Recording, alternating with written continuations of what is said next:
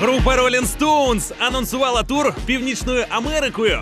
Гастролі стартують цього літа. Про це повідомляється на офіційному сайті легендарної групи. Перший концерт у рамках турне відбудеться на Лос-Анджелеській спортивній арені Staples Center.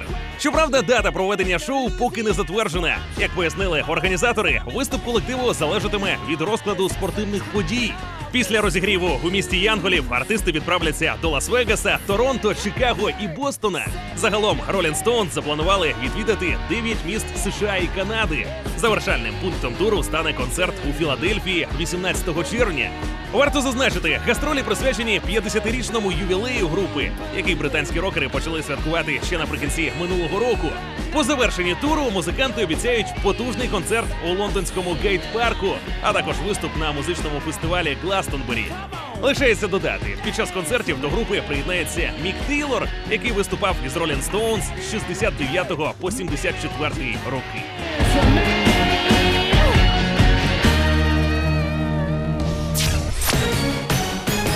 Зовсім інша ситуація склалась у колективі Bon Гітарист групи Річі Самбора покинув бенд, навіть не дочекавшись закінчення його американського туру. Таке повідомлення з'явилось на офіційному сайті групи. Щоправда, причину такого рішення музиканта вирішено не називати. Представники рокерів обмежились фразою певні особисті проблеми.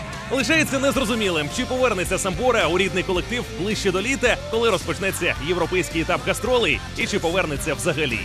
Одночасно адміністрація бенду запевнила, що усі заплановані концерти відбудуться вчасно, і жодних змін у гастрольному графіку через інцидент з річі не буде. Нагадаємо, ім'я Самбори неодноразово з'являлось у змі. Причиною тому стала залежність артиста від алкоголю і седативних засобів.